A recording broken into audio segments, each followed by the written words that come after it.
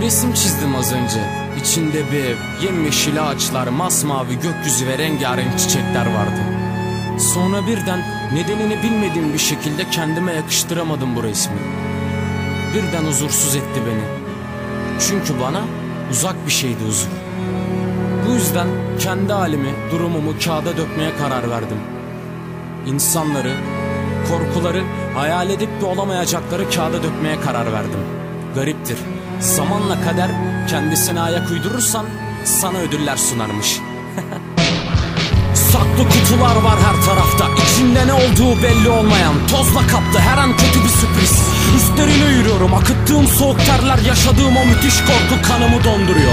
İçim değil bir damla akıyor gözümden. Cehennemden bir parça sanki içinde yoğun bir ateş var Mutluluğun özlemi o.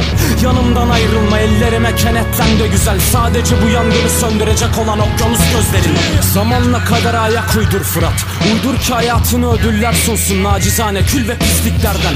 Sana sakin olmanı söyleyen o insanlar Bilmiyor ki bu çocuğun yüreği Hiçbir zaman dizginlenmez Hiçbir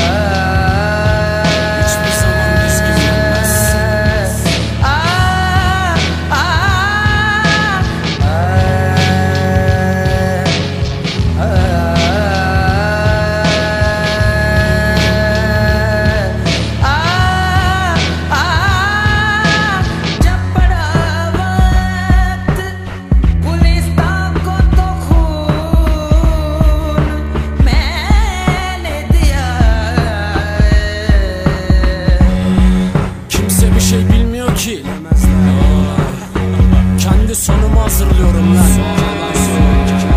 Kimin umurunda ki Kimin umurunda ki